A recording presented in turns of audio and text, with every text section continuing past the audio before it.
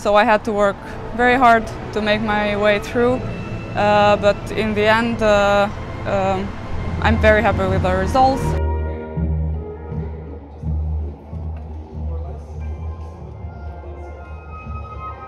The main thing I'm here is, of course, music uh, to gain more experience and to play with other young musicians.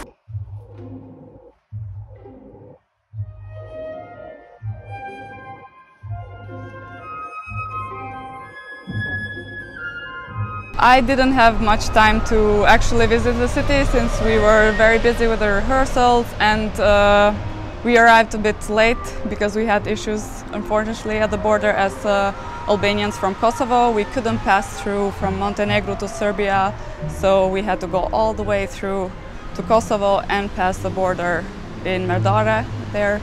So it was a, a long road for us to, to make it to Serbia.